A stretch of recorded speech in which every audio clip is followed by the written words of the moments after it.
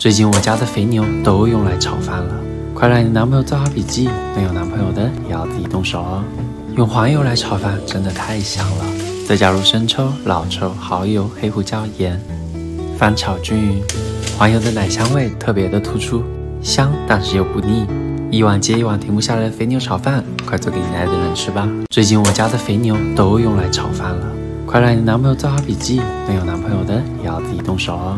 用黄油来炒饭真的太香了，再加入生抽、老抽、蚝油、黑胡椒、盐，翻炒均匀，黄油的奶香味特别的突出，香但是又不腻，一碗接一碗停不下来的肥牛炒饭，快做给你爱的人吃吧。最近我家的肥牛都用来炒饭了，快来你男朋友做好笔记，没有男朋友的也要自己动手哦。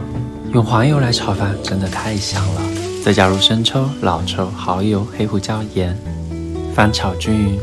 黄油的奶香味特别的突出，香但是又不腻，一碗接一碗停不下来的肥牛炒饭，快做给你爱的人吃吧。等下的饭你要吃两碗哦。今天是男朋友一定要学的海鲜烩饭，没有男朋友的也可以叫闺蜜动手哦。先下土豆和番茄，把番茄炒软，一勺生抽，一勺蚝油，一勺番茄酱，然后倒入虾仁，等虾仁变色，倒入清水。米饭散开后，用盐和黑胡椒简单调味。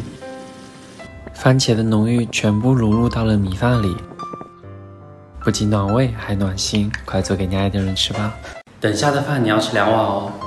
今天是男朋友一定要学的海鲜烩饭，没有男朋友的也可以叫闺蜜动手哦。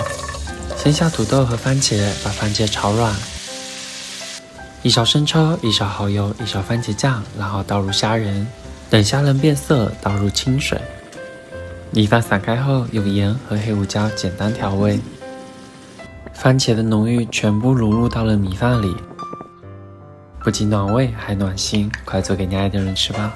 等下的饭你要吃两碗哦。今天是男朋友一定要学的海鲜烩饭，没有男朋友的也可以叫闺蜜动手哦。先下土豆和番茄，把番茄炒软。一勺生抽，一勺蚝油，一勺番茄酱，然后倒入虾仁，等虾仁变色，倒入清水。米饭散开后，用盐和黑胡椒简单调味。番茄的浓郁全部融入到了米饭里，不仅暖胃还暖心，快做给你爱的人吃吧。余生我想做两件事，变得更优秀和做饭给你吃。今天是男朋友一定要吃的皇冠煎饼，没有男朋友的也要自己动手哦。配方看屏幕，有需要的记得截图。要注意的是淀粉的比例，加多了容易外面的糊了，里面还没熟。